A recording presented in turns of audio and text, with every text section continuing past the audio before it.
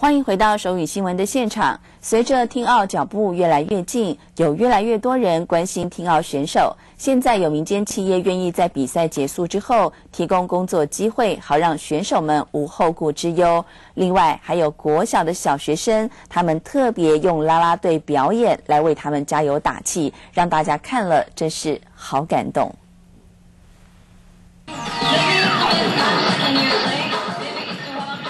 为听到选手加油打气，啦啦队的表演还不够，这一群小学生还送上每人一人一句加油卡。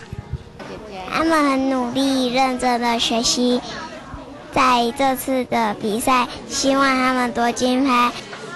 小朋友天真的祝福，大大的鼓励了听到选手的信心。开心，很开心，希望不会让小朋友们失望。可以夺金。小朋友觉得祝福，让我感觉到感觉很温馨，给我们很多的大击加油。心理鼓励很重要，实质的资源支持更需要。要让听奥选手专心集训，就是要让他们无后顾之忧。像夺牌希望浓厚的跆拳道队员黄子云，为了练习丢了工作；而林柏聪也因为开始集训，暂时把工作摆一旁。而吕思柔现在虽然是在学，但是未来出路在哪也很茫然。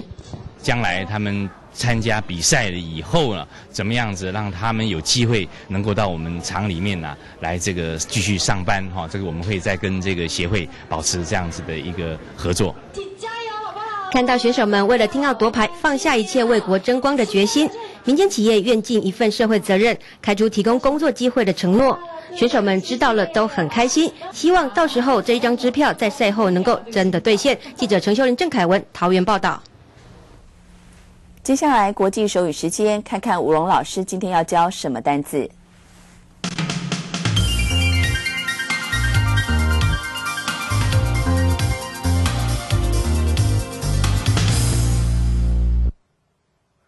开口微笑，举手欢迎。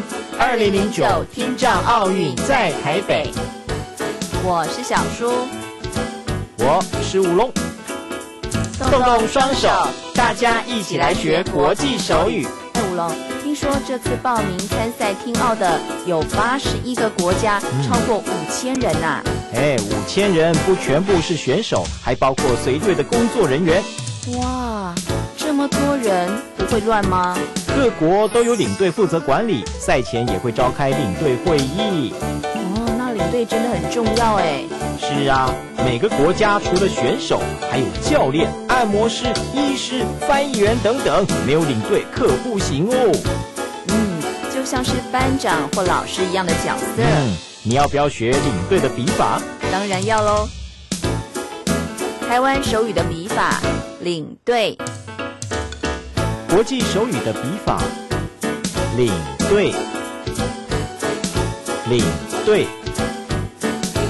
国际手语轻松笔，听障奥运就看你。